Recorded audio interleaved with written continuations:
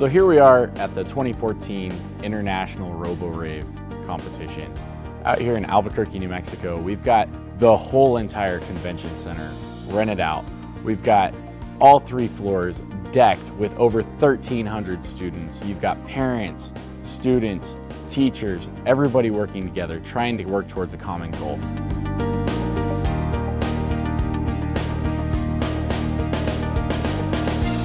So this year I'm, uh, I'm facilitating, I'm, uh, I'm checking in people. It's, it's a great time to just see the amount of people coming to RoboRave now.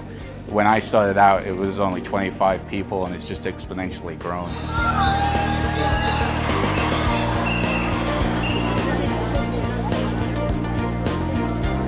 When we started out, we probably only had maybe 20 teams, and now we have, you know, 400 teams. So we have 1,700 kids participating this year, and it's it's it continues to grow. Um, so it's exciting in that respect. And then we keep trying to add different challenges to keep the kids interested in what's going on with the robotics. So instead of just the line following, we added firefighting. And then last year, as I mentioned, we added jousting for another competition that they can try. So it's, you know, so they're trying to get their robot to do these really neat things.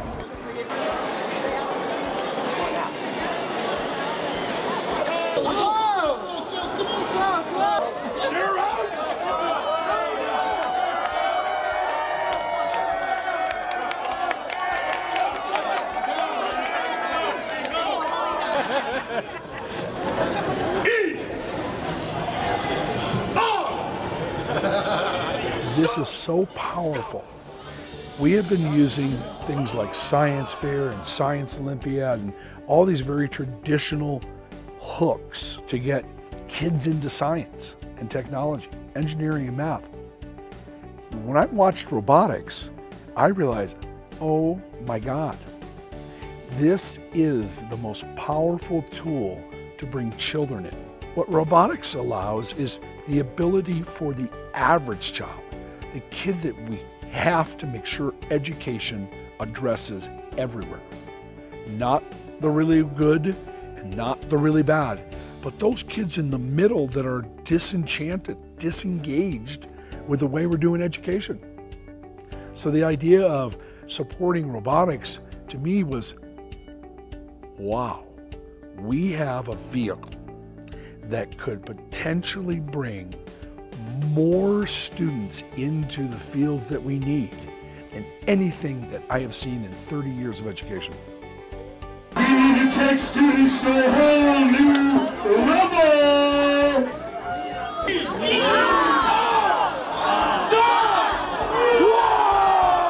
If I bring a kid to RoboRave, even the ones that are not interested or don't know if they want to compete or they're intimidated, if they see it once, they walk out of here and all they're thinking about, they will tell me, whoa, I think next year I'm going to do this and I'm going to do that. And I have had students that were not doers, they were passive learners.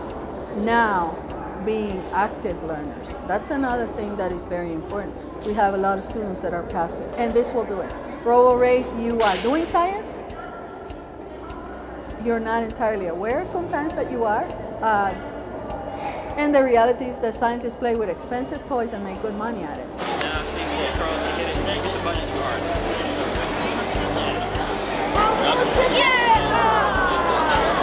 the. The kids kind of like learning on the fly how to fix and you know manage problems. That's we've already kind of seen that today, where we've had to, we had a new track that we had to work off of, and the kids had to sit down and we had to all talk about well what's what's the way we're going to fix this. You know, first it was uh, maybe we have to change how we built the robot and make some design changes there, and then uh, eventually we came to well we got to change the programming of the robot, and that's something that you know, uh, as much as we're kind of guiding them, we're kind of they're the ones making the the you know the leap. They're the ones saying, hey, yeah, okay, we need to do this or we need to do that. So I think that's really great to see that, and I don't know that you would get that normally in a in a normal classroom setting. So that's one of the real kind of big expectations I was hoping for from this, and and we definitely I think uh, are delivering on that already. I actually don't think I've ever had a project where I've completely started from scratch so many times in such a short period. Like I said, in about three weeks we've worked it over a good dozen times, which has been different for me and almost frustrating. Just because it is reworking. It seems like I have to throw out all this stuff from before. So in that way it is, I guess. You know, try, try, try again. Things go wrong. And then you work it out. And you try to work it out. And even though the kids are sometimes not doing well, they are working it out and having a good time at it. And students that were not team players now understand the uh, value of, of the team, of all of them together.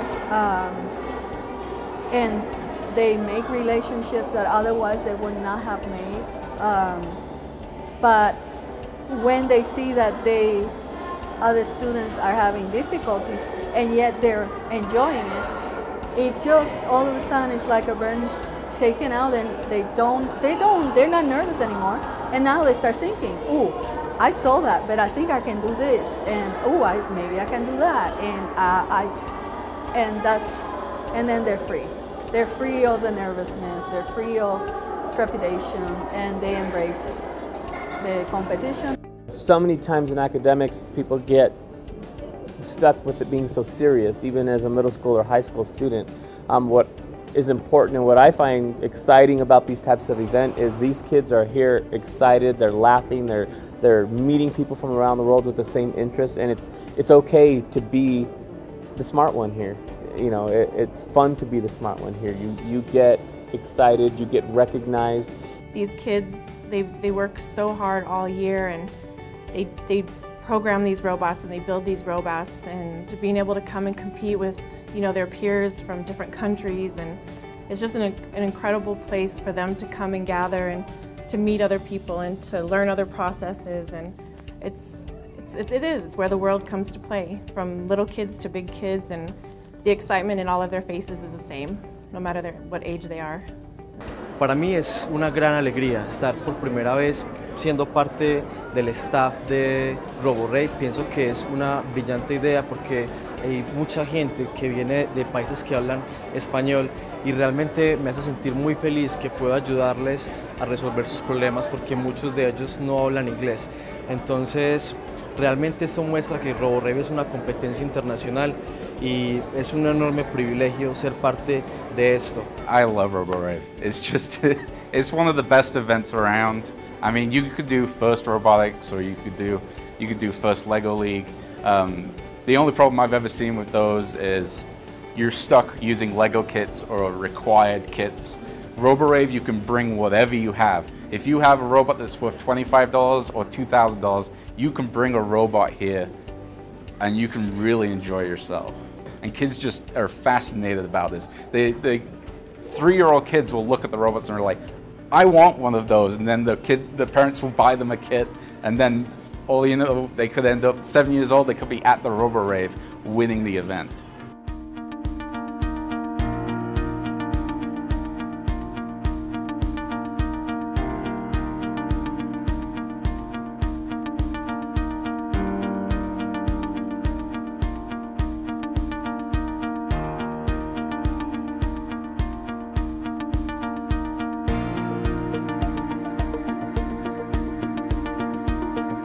Overall, in a nutshell, I'd say RoboRave International is successful because it started by teachers. It's still focused on teachers to help them reach kids that they're having problems reaching through their normal or formal education. We're giving them hope.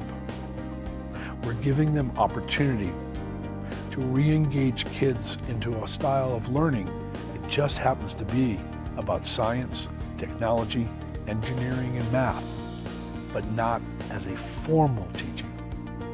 It's about play. And tell me who in this world doesn't like to play?